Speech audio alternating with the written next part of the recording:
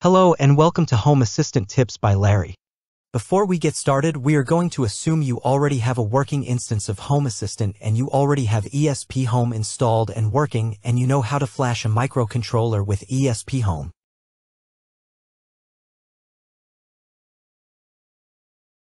To start off this video, I just want to say if you haven't already seen the original Glade air freshener video, I would stop now and go to that video and watch it. I'll leave a link in the upper right hand corner of your screen.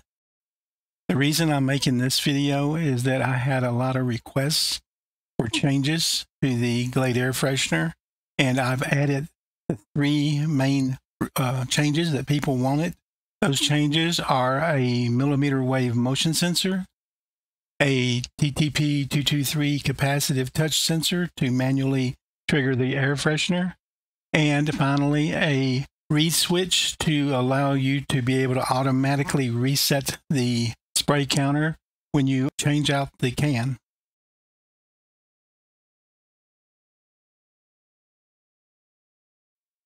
Let's go ahead and start off by removing the front of the air freshener by opening up the Glade air freshener as you see here in the video. We're going to use a flathead screwdriver like we did in the previous video and remove the uh, hinge so that we can take it apart as you see here. Then we're going to set the main body aside and we're going to work on the Glade air freshener cover itself.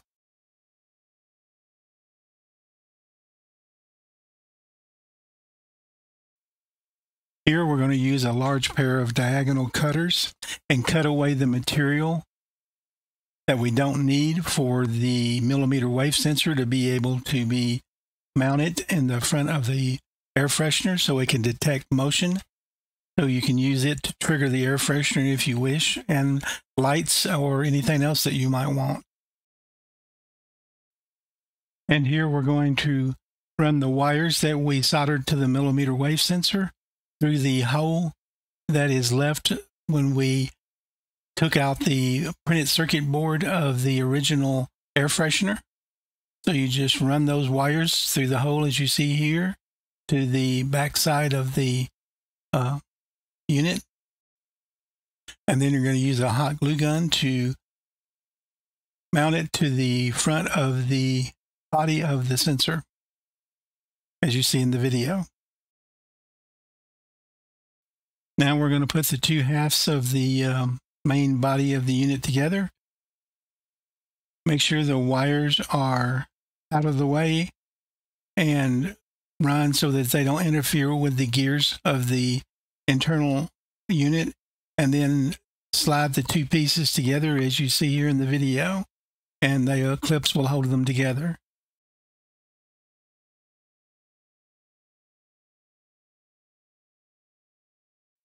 Next, we're going to install the touch sensor.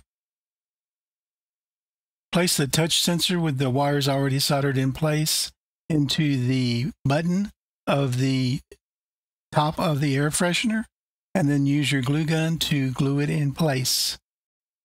Make sure you place the end that has the wires attached to it to the back side of the air freshener so that they do not get in the way when you install the main unit.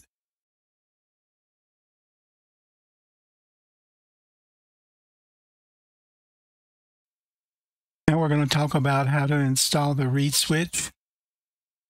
The reed switch is installed in one of the battery compartments up against the wall of the switch. Let's take a closer look to see exactly where it's installed at. Let's zoom in so we can see it even better. And as you can see, the reed switch is installed away from the hose so you can reinstall the screws when you get ready to reassemble the unit.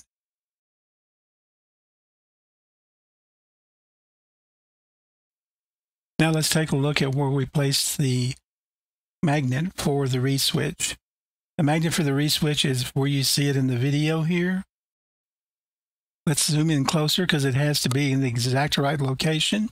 It's exactly 28.7 millimeters from the top of the air freshener here to the middle of the magnet there. And it's approximately 17.0 millimeters from the edge of the air freshener to the middle of the magnet. It's very important that you get that placement exactly correct. To do that, I used a pair of calipers, as you see here in the video. Mine has a scratch on the display because it's been used a lot, but these are really good to use to get that placement exactly right. I'll link a link in the video description so you can get these if you need them.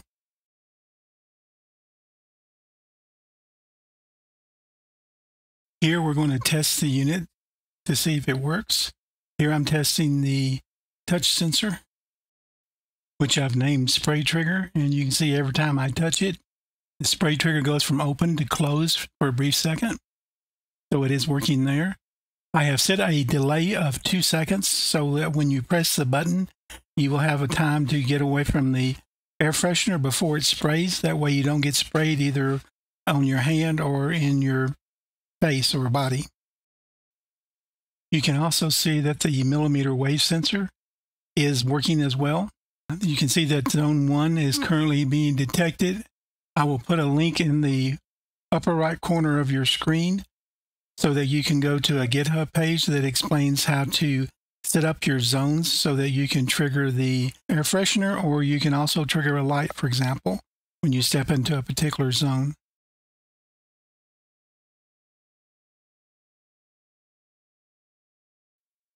Here we're going to reassemble the unit by reinserting all of the screws in the air freshener. Once we've reinserted all the screws, we will put the cover back on so that everything will be finished. You can see me putting the cover on here. You can also see when I close the cover that the reset counter goes from open to closed. Closing the cover when the counter is below 50 will automatically make the counter reset to 2400, which is the maximum amount of sprays. Thus, you have an automatic reset of the counter when you replace the Glade air freshener with a new can. The reed switch will also prevent an accidental spray when the air freshener is opened so that you don't get sprayed by accidentally put, pressing the button on the top of the air freshener.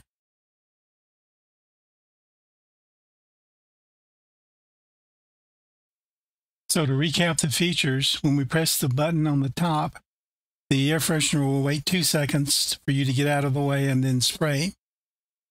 If the counter is below 50 and you open the air freshener and then you take out the can and replace it again, and then you close the air freshener, the reed switch, which we installed, will automatically goes to the closed position, as you see in the video here, and it will automatically reset the counter to 2400.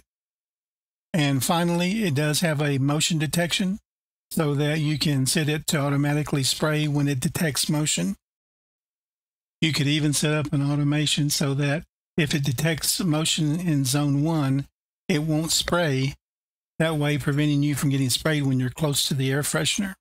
Well, that's it, guys. I hope you enjoyed the video. If you have any questions, please leave a comment below. And as always, I hope you have a good day. Thank you for watching. The code to get the sensors working in ESP Home will be linked in the video description. We hope you enjoyed this video.